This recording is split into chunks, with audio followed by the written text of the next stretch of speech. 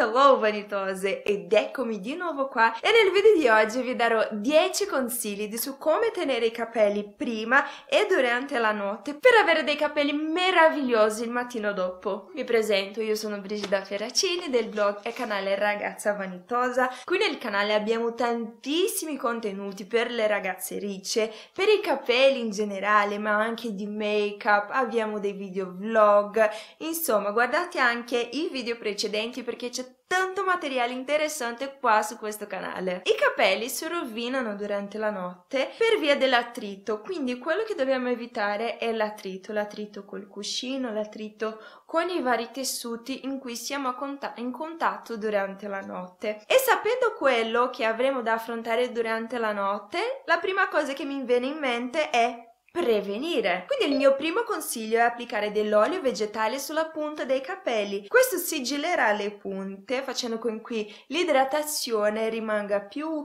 intrappolata all'interno dei capelli e l'olio va bene quello che ti piace di più. Olio di cocco, argan, può essere anche un cristallo liquido, anche se io preferisco un olio vegetale. Il mio secondo consiglio è quello di applicare una crema sulla lunghezza dei capelli. Importante, questa crema non può essere una crema molto sostanziosa, quelle creme spesse, molto oliose, se no andrà a disporcare i capelli. Quindi applicare una crema leggera sulla lunghezza e punta dei capelli. Questo lo si applica leggermente, non per inumidire tutti i capelli, ma giusto per prevenire, magari anche concentrandoci sulle zone più secche. E come io vi dico sempre, un buon consiglio deve sempre essere condiviso. Quindi condividi questo video con la tua mamma, zia, nonna, sorella, cugina, amica vicina, lontana, sul tuo gruppo di WhatsApp, invita tutte le tue amiche per far parte di questa famiglia di ragazze vanitose. Un altro che ci può aiutare è lo spray per il day after. Vi ho lasciato qua nei card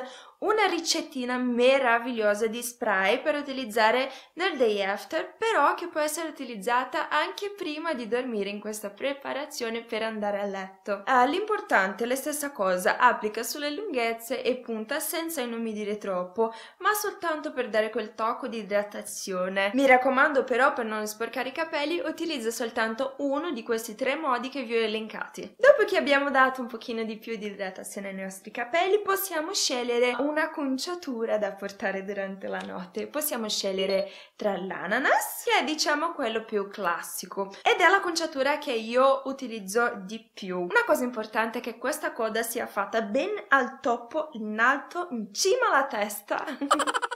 Questo eviterà con cui le punte dei nostri capelli si rovinino durante la notte. Questo però non protegge i capelli della nuca che andranno sì a perdere un po' del riccio e della definizione, però questo si può risolvere la mattina dopo con gli spray per il day after, quello che vi ho elencato prima. E gli elastici che io prediligo per fare il mio ananas sono l'Invisibubble e gli elastici senza la giunzione in metalli. Il prossimo è uno dei miei metodi preferiti, che è la cuffia in seta. Vi ho fatto anche un DIY di come farlo, vi lascerò il link qua nelle schede. Questa invece è perfetta per chi soffre con il mal di testa, fastidio, uh, con l'elastico, eccetera, perché questo basta inserire tutti i capelli dentro la cuffia e dopodiché andare a letto. I capelli rimarranno sciolti dentro dentro la cuffia ma sempre idratati. Questo perché la seta o il raso che sia diminuisce l'attrito con i capelli e non assorbi tanto l'idratazione rispetto a un tessuto di cotone. Ecco perché la cuffia in seta o raso. Il prossimo modo è uno che utilizzo spesso anche questo, che è lasciare i capelli sciolti, cioè proprio sciolti come stanno così. L'unica cosa che faccio è alzarli e dopodiché coricarmi e dormire tutta la notte notte. L'importante però per chi vuole dormire con i capelli sciolti è avere una federa in raso o seta, questo per lo stesso motivo perché il raso e la seta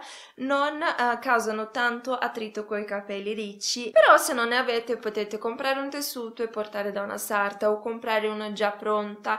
In qualsiasi modo, se non vi volete scomodare, potete prendere anche una maglietta, un vestitino in seta o in raso e avvolgere il vostro cuscino.